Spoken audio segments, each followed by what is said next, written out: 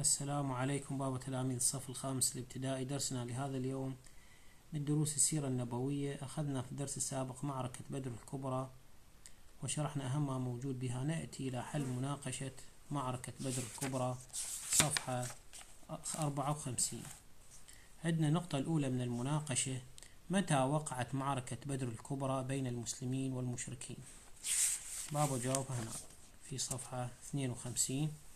يقول وقعت معركة البدر وقعت معركة البدر في اليوم السابع عشر من شهر رمضان المبارك في السنة الثانية من الهجرة. إذا وقعت معركة بدر في اليوم السابع عشر من شهر رمضان المبارك في السنة الثانية من الهجرة. هاي جواب النقطة الأولى من المناقشة صفحة 52 جواب النقطة الأولى من المناقشة وهي متى وقعت معركة بدر الكبرى بين المسلمين والمشركين؟ النقطة الثانية كيف بدأت معركة بدر؟ هنا كيف يسأل؟ كيف بدأت معركة بدر؟ أو ما هي أسباب معركة بدر؟ باب جوابك نعم. كذلك في صفحة 52 بداية الصفحة نقول خرجت قافلة تجارية لقريش يقودها أبو سفيان أحد زعماء المشركين. فقرر رسول الله أن يسيطر على القافلة. لماذا قرر رسول الله أن يسيطر على القافلة؟ ليضعف قوة قريش التي تحارب الإسلام والمسلمين بأموالها. إذا أسباب أو كيف حدثت معركة بدر؟ يقول خرجت قافلة تجارية لقريش يقودها أبو سفيان أحد زعماء المشركين.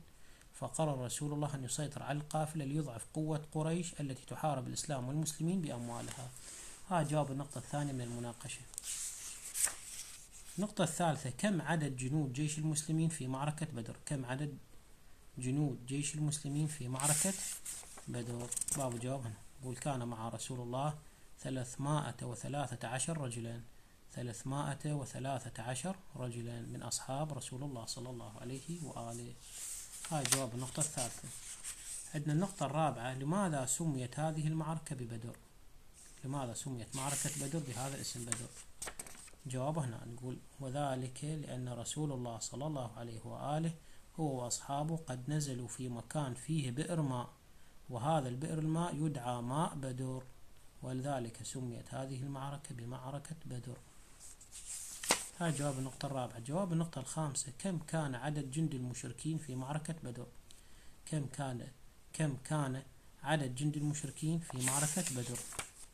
بابا جوابك نقول كان عددهم قرابة ألف مقاتل. كان عدد جيش المشركين كان عدد جيش المشركين وعددهم قرابة ألف مقاتل. هاي جواب النقطة الخامسة من المناقشة. النقطة السادسة ما نتائج معركة بدر؟ ما نتائج معركة بدر؟ باب النتائج ثلاثة قرناها لكم هي أولا نتائج معركة بدر هي أولا شعر المشركون بالذلة والضعف وشعر المسلمون بالقوة والعزة. ساعد هذا النصر على انتشار الإسلام. وأصبحت للمسلمين هيبة بين قبائل العرب. فأرسلت بعض القبائل وفودا للتفاهم مع رسول الله صلى الله عليه وآله أو الدخول في الإسلام. والنقطة الثالثة من نتائج معركة بدر سمى القرآن الكريم يوم معركة بدر بيوم الفرقان لأن هذه المعركة فرقت بين الحق والباطل. جواب النقطة السابعة والأخيرة ماذا سمى القرآن؟ هذه المعركة ولماذا؟ نقول بابا هذا جواب النقطة السابعة. سمى القرآن الكريم يوم معركة بدر بيوم الفرقان. لماذا؟ لأن هذه المعركة فرقت بين الحق والباطل. بابا هذا كلمة موجود بحل مناقشة معركة بدر. والسلام عليكم ورحمة الله وبركاته.